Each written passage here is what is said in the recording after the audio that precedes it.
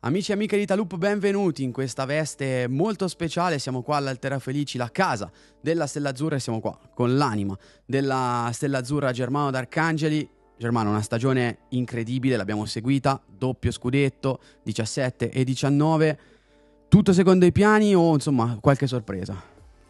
No, sapevamo sin dall'inizio di essere competitivi, ce lo siamo augurati, ma poi durante la stagione abbiamo scoperto, in funzione di quelli che erano i nostri lavori quotidiani, di, essere, di esserlo ancora di più e alla fine, bah, parlando della squadra under 19, qualche scudetto nel suo trascorso l'ha, l'ha vinto, quattro scudetti della generazione 2004, la, la, invece il gruppo under eh, 17 secondo me è stato fantastico. Sì, è un, proprio questo gruppo su cui ci vogliamo concentrare, l'abbiamo seguito durante la stagione, si legge un po' anche questa anima vincente che, che descrivevi, anche nei tornei non FIP, nel senso non nelle cose ufficiali, l'abbiamo ovviamente seguita in diretta tutta nella Novi più Cup con il successo, eh, i vari tornei internazionali, Francia, Spagna, Grecia. Eh, quanto è importante per voi lavorare con queste realtà che vanno anche al di fuori del, nostro, del vostro territorio? Direi fondamentale perché da sempre o perlomeno negli ultimi 15 anni abbiamo cercato di contaminarci, lo abbiamo fatto al nostro interno eh, ricorrendo a allenatori che magari non erano romani prima, italiani e poi stranieri, adesso abbiamo tanti ragazzi che non sono italiani e abbiamo voluto guardare a questo contenitore in maniera prospettica utilizzando altre lenti di ingrandimento e quindi farlo con eh, tornei che ci hanno portato a competere, non so, contro il Real Madrid, ma magari contro l'Aris di Salonicco, eccetera ci ha aiutato a misurare meglio il benchmark eh, al quale tendere, che se no diventa troppo autoreferenziale. Quando si viene qua all'Altero Felice si, vi si vede giocare, si percepisce che c'è qualcosa di diverso anche a livello di filosofia che, si, che scende in campo. E a proposito delle esperienze, ho sbagliato io nel non evidenziarla, c'è anche quella negli Stati Uniti dove non era proprio un vero e proprio torneo, lì ho visto che avete anche seguito un percorso d'allenamento, insomma che avete fatto un percorso là. Quanto è stata importante all'interno di questa stagione un'esperienza di quel tipo?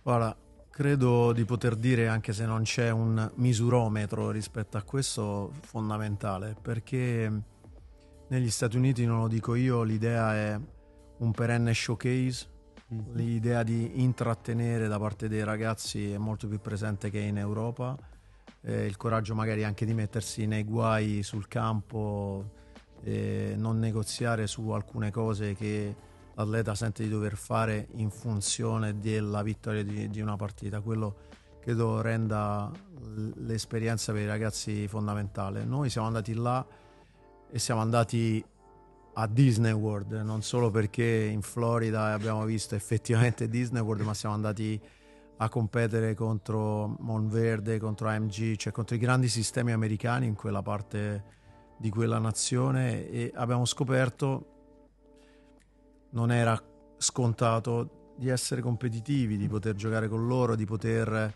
cambiare le regole da un giorno all'altro, di poterle scoprire sulla nostra pelle. Insomma, è stato talmente fantastico che ci va di ripeterlo. E beh, questa insomma è già una grande notizia per tutti quelli che vorrebbero far parte di, di Stella Azzurra, assolutamente. E a proposito di Stella Azzurra e di chi ne fa parte, noi siamo Italup, quindi un po' di individualità ne dobbiamo parlare. Abbiamo parlato appunto di questa generazione 2004, di questo under 19. Eh, due individualità mi vengono fuori su tutte, che sono ovviamente all'interno dei nostri ranking, sono quelle di Innocenti e Visintin. Un percorso che a livello eh, giovanile eclatante davanti a tutti, anche insomma con uh, i titoli che hanno vinto. Sei soddisfatto del loro percorso? Che cosa ti prospetti per loro? A seconda è difficile di domanda, effettivamente.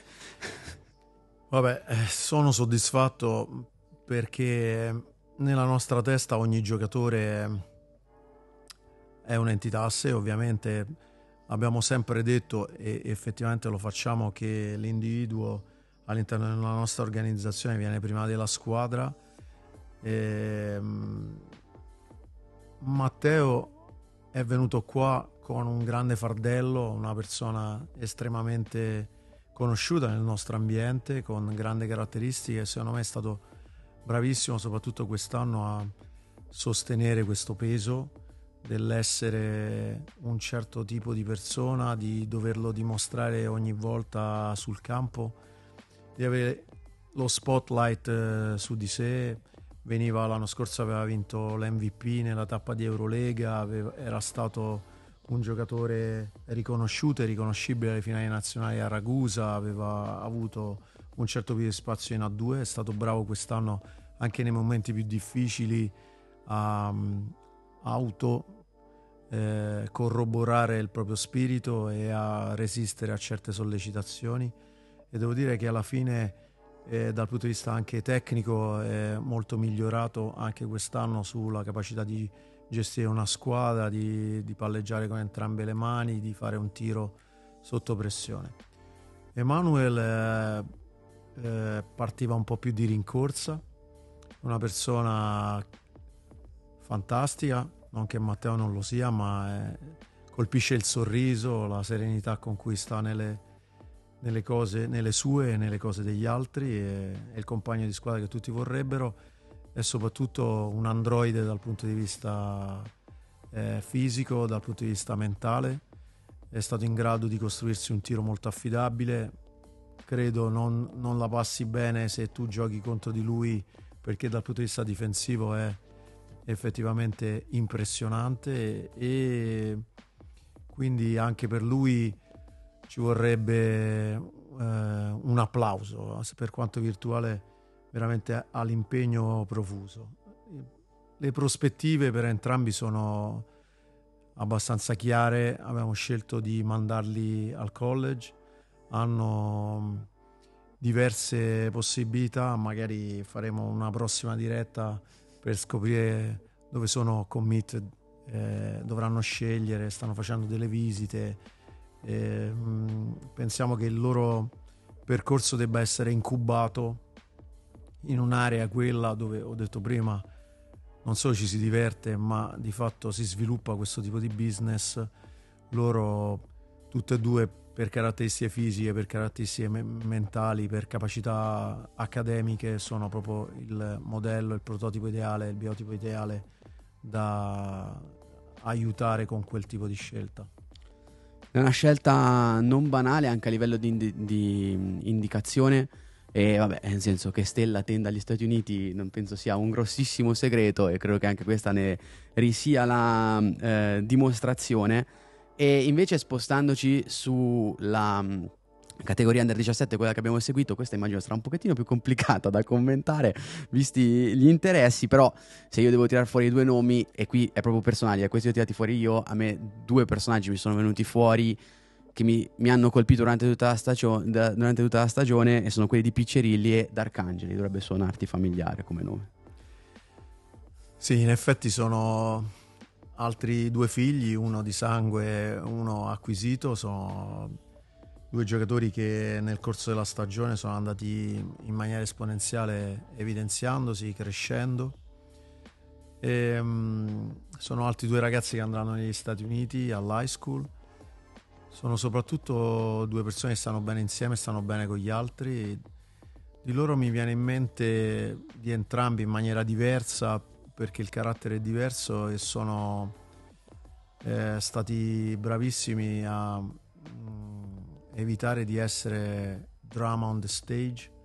Hanno cercato di magari risolvere le loro cose senza dover per forza spiegarla a nessuno, recitare una parte, sono diciamo da padre lo dico di un figlio particolarmente orgoglioso di questa cosa e soprattutto eh, l'altra cosa che, che, che, si evidenzia è che non hanno bisogno di essere anche là utilizzando dei termini che non sono italiani hero ball player cioè non, non hanno la necessità di possedere la palla 500 volte di fare 500 tiri di mettersi in evidenza in questo modo mio figlio riesce a, mm, a, far giocare una squadra, ne ammiro moltissimo da allenatore, ma evidentemente anche da padre la serenità con cui lo fa sul campo è invidiabile. Io mh, mm, non la riconosco, quindi non sono tratti ereditari, è una cosa su cui ha lavorato su se stesso, ma devo dire che anche Axel è, è positivo, è sempre mh, d'aiuto a tutti gli altri.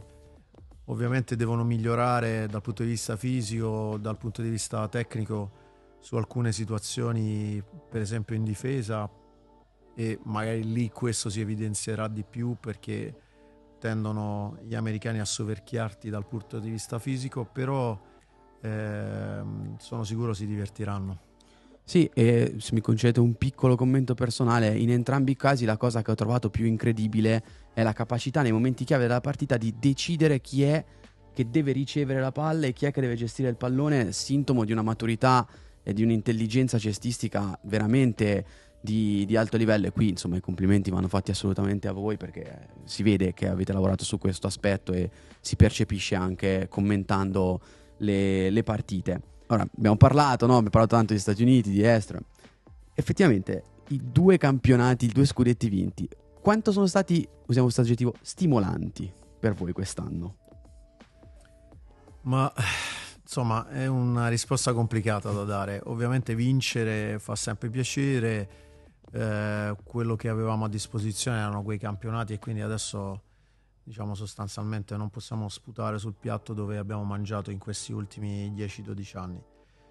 Eh, la Stella fa degli investimenti non solo economici, anche risorse umane, progettuali, cerca di estrarre valore da tutto quello che fa e eh, comincia un po' quel tipo di esperienza a segnare il passo per le, per le nostre cose. Non, non, mi piace pensare di, um, come posso dire, cercare di essere sempre diverso dagli altri, però in questo caso comincia a diventare indispensabile e necessario in funzione del fatto che cominciamo ad avere degli obiettivi a un'ingiusta distanza, sono un po' troppo facili la squadra under 19 quest'anno, ma l'anno scorso e anche l'anno precedente in costanza di Covid a livello regionale non ha mai perso una partita. La squadra under 17 di fatto la stessa cosa.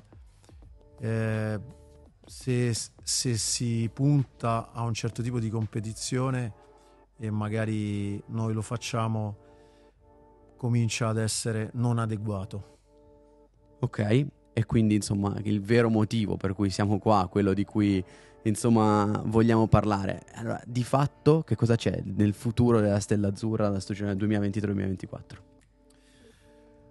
Guarda, il futuro della Stella Azzurra è un po' complicato da tratteggiare perché eh, insomma siamo spesso sotto la lente di ingrandimento. Quest'anno abbiamo avuto anche una crisi reputazionale eh, non solo a livello di immagine ma anche a livello di coscienza per cose che tutti quanti conoscono. E... Ma sono diciamo ormai diversi mesi che, che, che, ci interroghiamo su quello che possiamo fare rispetto a, ai nostri ragazzi. Fondamentalmente se c'è una premessa almeno filosofica da fare è che immaginiamo che eh, non si debba più solo curare la performance del giocatore, che è una delle cose che credo abbiamo fatto bene perché siamo riusciti a, a generare dei giocatori che hanno giocato a qualsiasi livello, ma in funzione della nostra esperienza vorremmo traghettare un certo modello a un altro modello e quindi andare un po' più sull'esperienza, un po' meno sulla performance. L'esperienza di un ragazzo è vincere una partita, ma magari anche giocarla l'esperienza di un ragazzo è negli Stati Uniti, ma è anche, non so, in Cina, Reggio Calabria o Aosta. Eh, quella che quelli più bravi di me definiscono la customer experience adesso diventa un po' il nostro core business. Stiamo sviluppando a 360 gradi intorno all'atleta diversi eh, sistemi, diciamo in una visione olistica per cercare di portarli da qualcosa a un'altra cosa ma abbiamo evidentemente eh, bisogno di porre al centro della nostra attenzione sostanzialmente quattro temi. Questi quattro temi sono E, mh, sono effettivamente liberi di fare tutto quello che è necessario fare per diventare dei, dei giocatori professionisti. Io credo che loro cominciano ad avere, i nostri ragazzi, parlo, cominciano ad avere dei problemi. Dobbiamo andare a fare delle partite certe volte giocandole, eh, cercando costrizioni nella partita per poter eh, ottenere certi risultati. L'altra domanda è, sono effettivamente felici? Sai, c'è differenza tra essere felici e essere felici perché qualcosa ti genera felicità.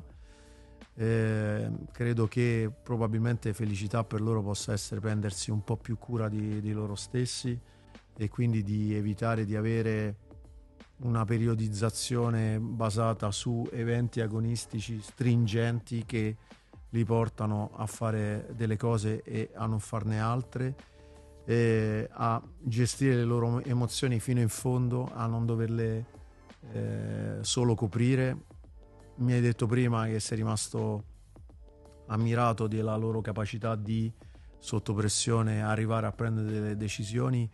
Mi domando qual è stato il prezzo sulla loro emozione, se ho la voglia di piangere disperatamente o ridere a crepapelle. Adesso senza voler per forza anche qua fare fenomeni in un certo senso quello che quindi vogliamo generare un nuovo ecosistema, almeno per noi stessi, non vogliamo costringere nessun altro, lo diciamo con molta umiltà.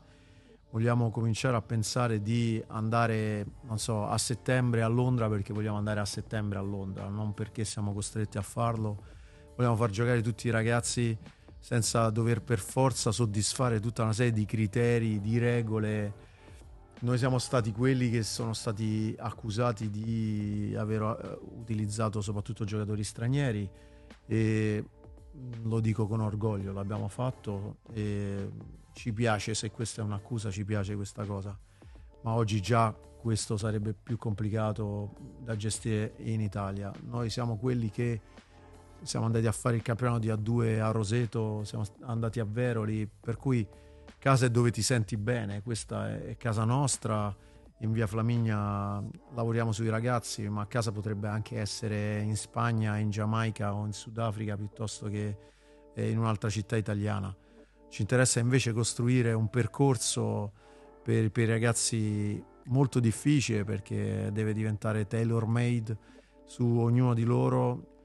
Eh, ci interessa dare la possibilità a dei ragazzi che eh, sono di Roma, che, che, giocano qui a Roma, di avere la stessa chance che ha un ragazzo di Tallinn piuttosto che di Duala di, di giocare a basket e quindi oggi ci stiamo interrogando.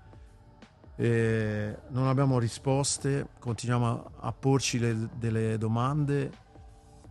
Sicuramente la prima cosa che faremo è quella di evitare di costringere noi e gli altri, evidentemente ci è sembrato fossero costretti molti a giocare con noi, quindi non faremo i campionati d'eccellenza, lo diciamo da diverso tempo, lo diciamo da anni, ovvio adesso il momento è quello che è, sembra che non so, ci sia una coercizione della volontà eh, da parte di qualcuno di qualcosa, ma continuando a procrastinare, a rimandare non arriveremo mai a una soluzione, non possiamo soddisfare tutti, quindi cominciamo col soddisfare quelli che la scelta l'hanno fatta, hanno scelto secondo in accordo al libero arbitrio di venire qua, di mettersi la stella sul petto e per loro credo siamo disposti a fare qualsiasi cosa anche a eh, giocare diciamo in futuro competizioni che oggi sembrano molto molto distanti dalle nostre cose. Questo è anche il motivo che ci ha portato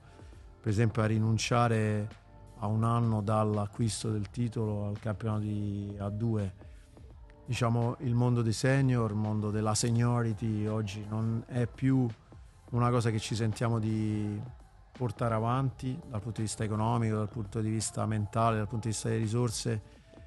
Pensiamo che a fare impresa su quell'ultimo chilometro possano essere, non so, i college americani o altri club che sono più preparati, più capaci di noi a, a, farlo. Il nostro è un percorso preciso per gente che deve stare qua con noi 3 o 4 anni e poi trovare altrove le, le giuste soddisfazioni. I campionati di eccellenza vedremo. oggi è un po' complicata, non solo perché li abbiamo vinti, ma anche perché ci costringono a delle cose, eh, tra molte virgolette ovviamente costringono, che ci piacciono di meno. Ok, una risposta assolutamente molto più che esaustiva. Insomma, Stella non chiude se questo ve lo stavate chiedendo, anzi mi sembra che abbia un progetto ben chiaro davanti a sé e che la strada, io mi auguro, ma sono praticamente certo, sarà assolutamente limpida e rosea. Io ti ringrazio Germano della disponibilità e spero insomma che questa, questo contenuto, questa intervista sia utile anche un po' a tutti voi su quello che sarà il percorso di questa grande società. Grazie mille a tutti, alla prossima.